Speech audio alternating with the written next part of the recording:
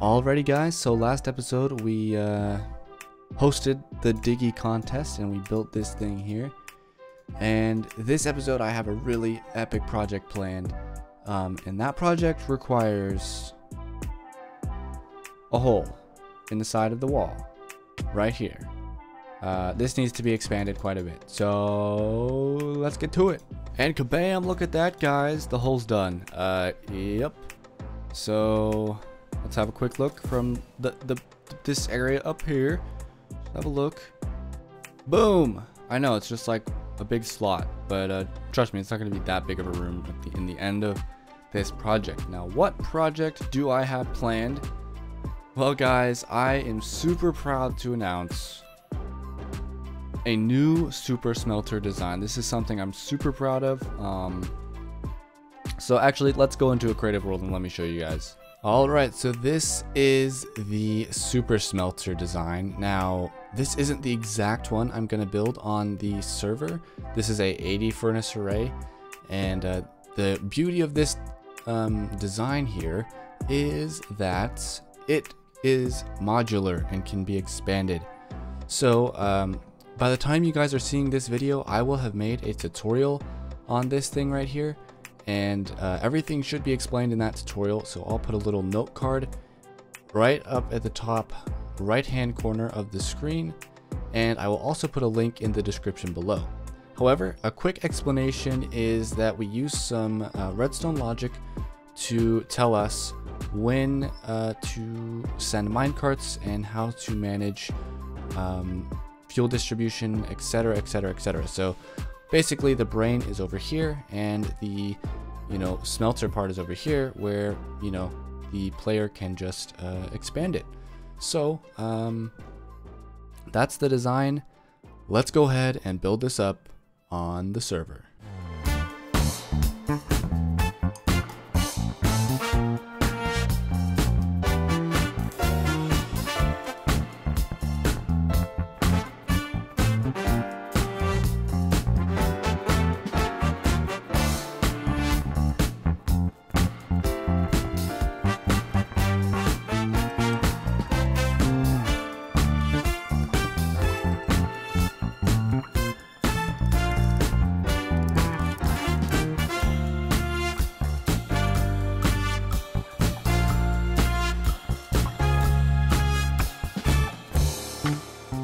Alrighty guys, so here it is in all its glory and I've started decorating the room around it with some lava, some uh, magma blocks, and some red nether brick, um, and some basalt. And I wonder how we got all this basalt. Well, I went ahead and built a basalt generator. I followed Ilmango's tutorial on his simple, efficient basalt generator. Um, and it's in the nether because lava flows faster in the nether and then we're just running it off of a clock and then all this stuff goes into these chests here. Um, and of course I honestly I'm just gonna let anyone use this. I don't really see a need to make basalt something you sell. Uh, so all you gotta do is come up here click the lever come up to this area and then just hold down right or left click here. And yeah it works like a charm. Uh, so yeah, basically my plan is to have a glass floor above this area. The glass is probably only going to come out to here actually. So this whole area here isn't really going to be visible. Um, but that's kind of the point is it's just uh, there's going to be a glass over top the redstone here. So we're going to have different stuff in this room up here where we can, you know, put stuff and things. I don't know. Uh, we're going to have a loading area for fuel um, on either side. And um, there's some redstone that I still have to add to this, but as of now, it actually would smelt if we fueled it up. But currently, um, I want to make the room look a bit nicer and do a bit of that. So obviously underneath here, we're doing good. And then we're going to have the bubble stream up here to get our items. Anyways, let's go ahead and get into the uh, building of this. Alright guys, so I've decorated a lot of this with all the underbelly type of deal. Um, yeah, I think it looks really awesome with the magma blocks, the lava, the lava streams, and things like that. And then we have this little entrance thing where we put all our items. And then this is where the water, the items are going to come back up.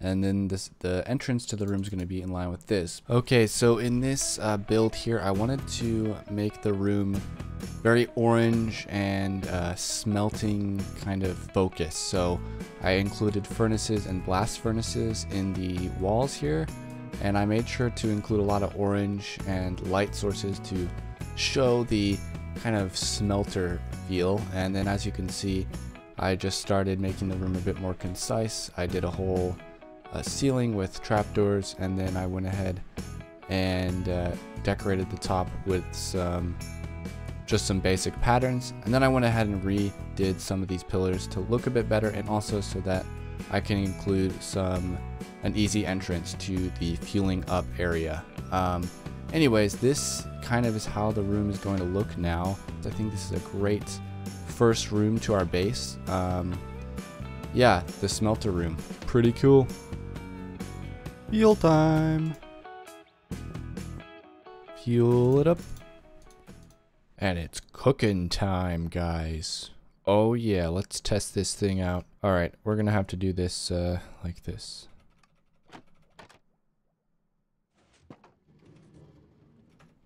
And there it is, all of the fuel.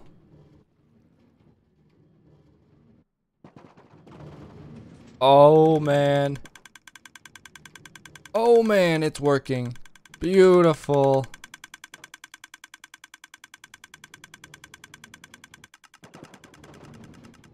Oh man. I'm so excited. Oh, this is awesome. Hey, we got stuff coming up already. Oh boy. Oh man, this is awesome.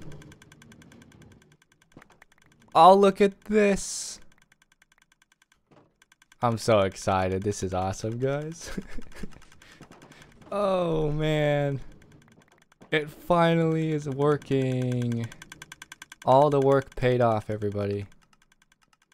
Yeah, so standing here, you actually don't get any of the noise. You get a little bit here. You only get the noise when you want to look at the machine, but really, we're only going to be over at this section here. This is really all we need, but I wanted to see the machine. Wait a minute, is this side working? Oh yeah, okay. Good. Cool, guys. It finally works. Oh, this is awesome. All right, guys. So, aha, we have some decorations done.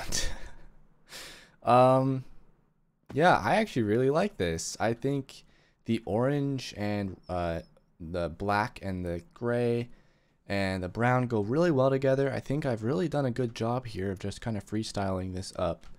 Um, I don't know how much of my base is going to look like this, but from a distance, it looks really cool. Um, so, uh, obviously this bottom section here, right here, is going to get covered up. But, um, and so this whole layer is going to get mined out eventually, all the way around to this side. As you can see, I've started right there. Um, and then we're going to have, uh, you know, layers on top of this one, and on top of this one, and on top of this one, and Probably not as much below because this took a lot of space. But we're going to have our storage floor right here. Boom. A huge floor about storage probably on this corner and on this side we're going to have something else. But yeah, this is essentially the start of the base and I really like the block palette I've used so far. Um, I am going to be doing a lot of different block palettes in this base because there's no particular theme. I'm thinking about if you guys have seen the show Rick and Morty, there's that green portal that they do. I'm going to do that here in the bedrock with glass and, and fog effects. It's going to look really cool.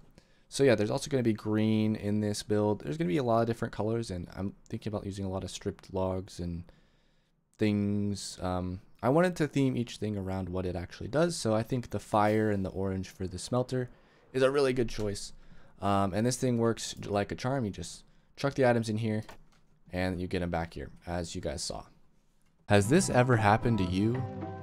Well, chances are it probably has, but luckily, here at Pufferfish Incorporated, we have a solution. Taking advantage of the hardened shells of shulkers, the shulker box was born. A ultra durable, high blast resistance box that keeps all your items safe. Come to the shulker shell shop by the river shore and get your shulker box today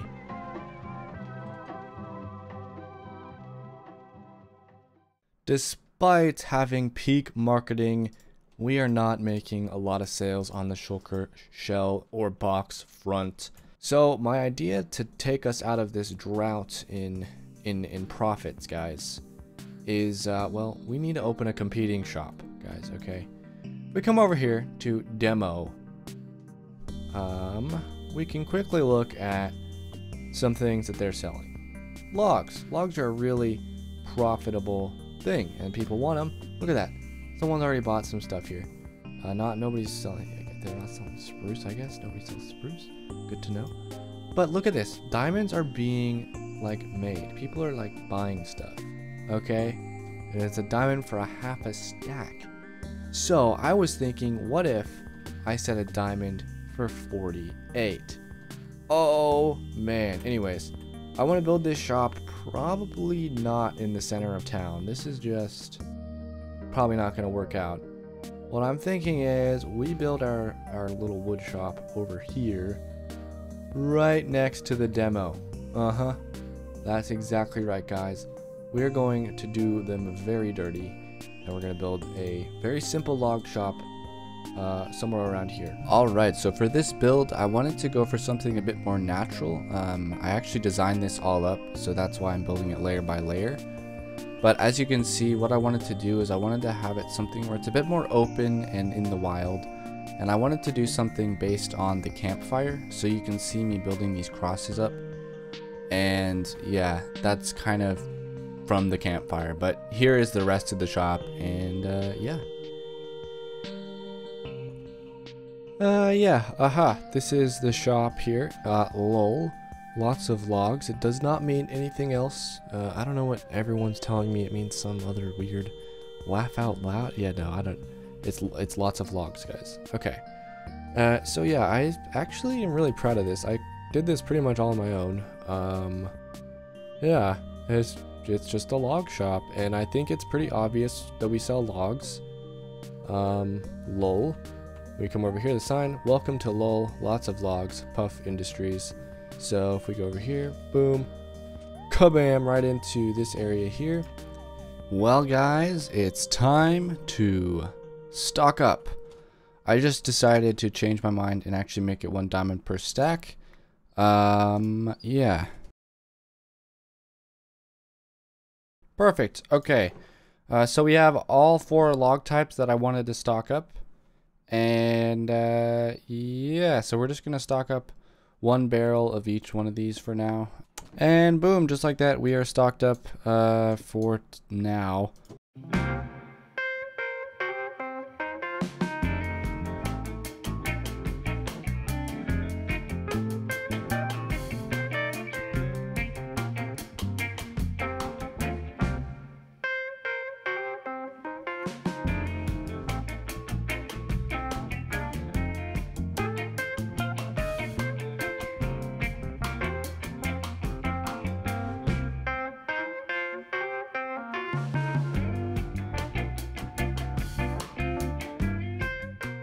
Alright guys, so we need a villager to take to the raid farm you guys just saw me build up. Uh, so, what we do, we do that.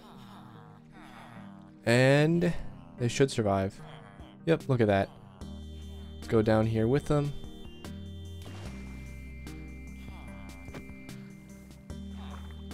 Put a boat down here. We only need two, so uh, let's do this, boys. And then we break the block. Push him in. Beautiful.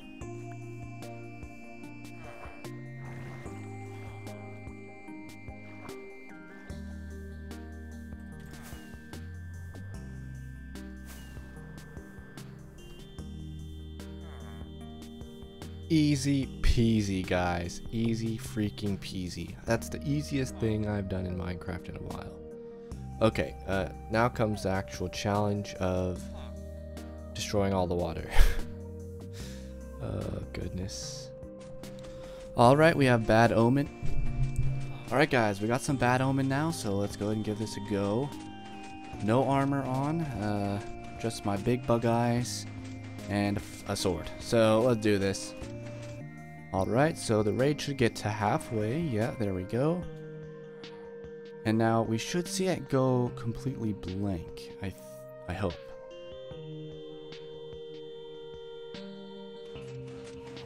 No, it didn't happen. Something is still off with this thing. we should get Bad Omen again. That comes pretty quick. We're not getting Hero of the Village. Which is no bueno. Uh, let, let's try it another round.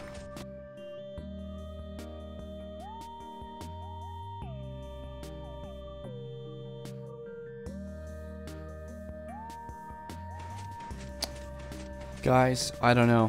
This is the biggest mystery to me. Uh, it might be this water vader here, but it shouldn't be. It really shouldn't be. The villagers are in the correct location. Like, if we go do this, I mean, this is all wrong because I added that. Uh, we do have a solid block here, so that's not good. Oh, goodness. Okay.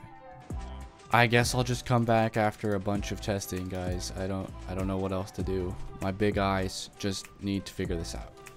Alright, I will be back later. Okay, guys, so I have uh, gone over this thing so much. I can't find any any difference. This is the one that works in single player. This is the schematic I built mine off of in the server. And the only difference I added was that water stream, which shouldn't affect this once again.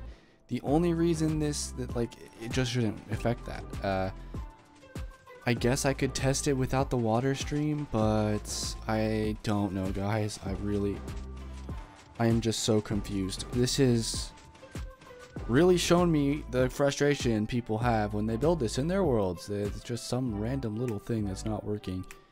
And I have checked everything. So, yeah, guys. Uh, I, I surrender. Um, I do surrender. This, yeah. I have, like I said, I've checked everything. I've checked the items like 20 times. I have checked legit everything. I've watched this work. I've watched the other one work. This works in the same exact way. Uh, oh my goodness. Um, anyways, bye. See you guys in the next episode. And yeah, next episode, we're going to do something fun.